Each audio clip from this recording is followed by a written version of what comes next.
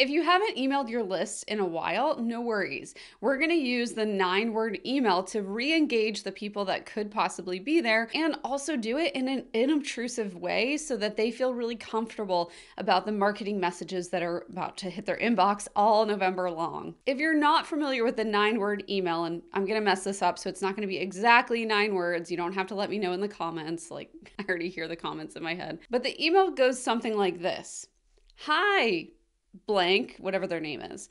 Are you still interested in, and then whatever result that they were interested in? Why did they sign up for your email list in the first place? That's gonna be the entire email. And I actually like to send this in size 13 Helvetica font. So it looks like a personal email from me coming from my Gmail account, not just something that is sent through my marketing messages.